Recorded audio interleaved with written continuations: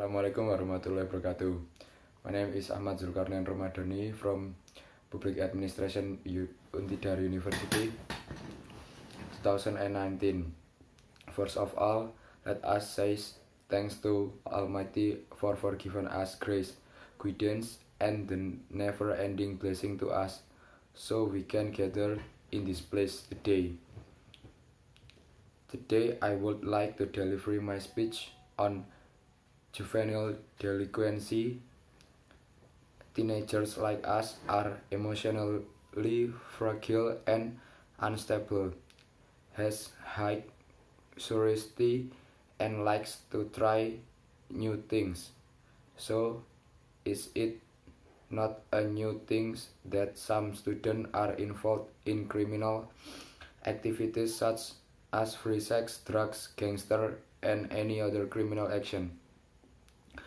Juve- juvenile delinquency itself is a crime committed by children or teenagers under 18 years old. Delinquency itself is an act which cannot be accepted by the society.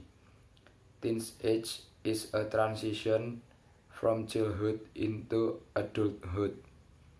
The children are expre- experiencing the development process, however, some of them are succeed to become good adults meanwhile.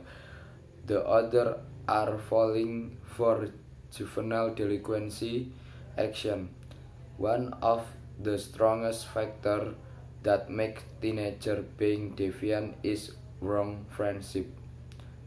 My friends, I will take one of the juvenile delinquency example, which is drugs.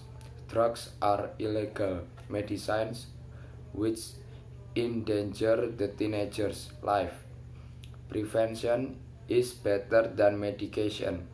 Drugs need to be stopped from now before it takes more life. I will explain about several ways to keep us away from drugs. The most important things it let us be more faithful to our religion. There is no religion who allow human to consume things that endanger the human life. Try to understand about the religion significance. So religion can guide you into the right path. You will understand which is right or wrong for you if you can follow the faith. The second thing is to strengthen your bond with your family members. The family role in the effort of drugs prevention is very enormous. Parents are the first teacher for their children, so I encourage you to be a smart father and mother for your children in the future. Parents should nurture the children to be a responsible human. Parents will always direct the children to do positive things. All that we can do is to follow and obedience to their direction. Parents know what is right or wrong for us, so if our parents limit our activities or social life, please understand they are doing that because they love you. The third factor that will lead into teenager delinquency is friend. Some of us might be spending more time with friends instead of family. Slow but sure, your behavior will be affected by your friends.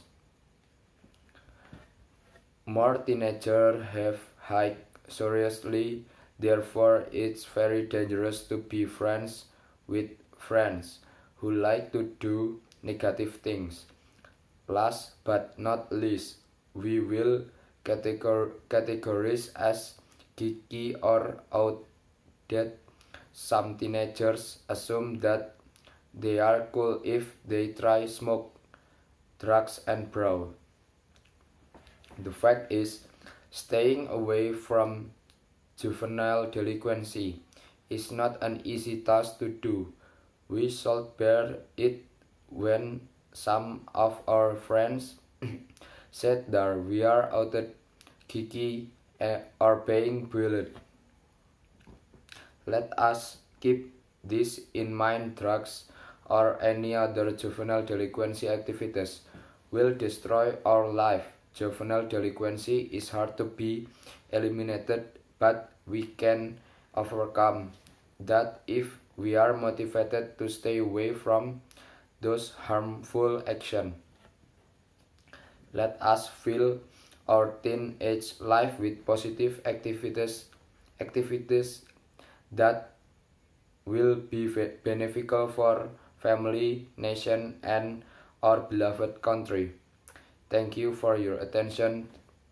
See you. Assalamualaikum warahmatullahi wabarakatuh.